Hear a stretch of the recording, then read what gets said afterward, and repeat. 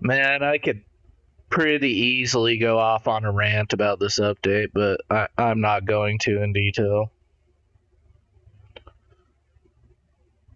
Those fucking goddamn level 9 talents. My my fucking dumbass bought a rune. I I haven't. I, I don't have very many gems at the moment. Because I was thinking that the the upgrade was fucking one rune, right? Oh, but no, and then I got a fucking upgrade arrow, and it's fucking 10. 30,000 fucking gems. Are you fucking kidding me?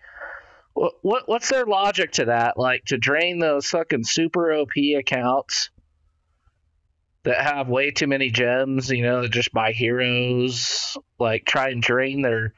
Are they thinking they're going to try and drain the gems down so that they can get them to purchase more?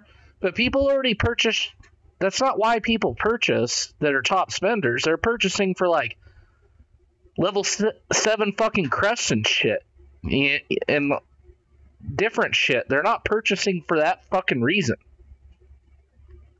So fucking logic, man. That's completely fucked. Uh, okay, I'm gonna try the creation.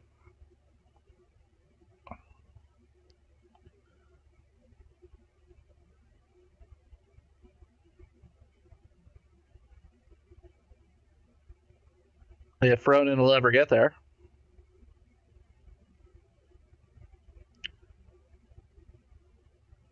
Yeah, heavy spam about now.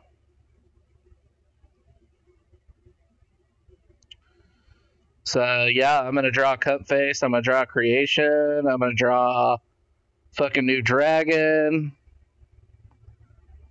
All kinds of bullshit. Ooh died during my spam even. That's okay. Engagement's gonna be a predicament on this base. He's got the fucking was that new hero? I don't even I even fucking look, man. Engagement's gonna be a predicament. As I don't want Skelly or to kill himself or New Dragon to get Skelly killed.